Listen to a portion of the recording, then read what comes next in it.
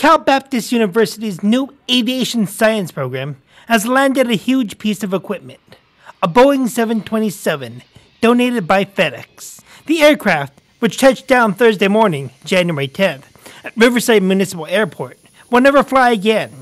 But its systems, from the cockpit to its loading bay, will train Cal Baptist students seeking to become the Inland Region's next batch of pilots and airport directors. The university's new aviation program, which will begin in fall 2013, will also feature smaller planes for flight training. But on Thursday, the 727 was in the spotlight. The aircraft, named Steven after FedEx employee's son, is the 60th to be donated for educational purposes.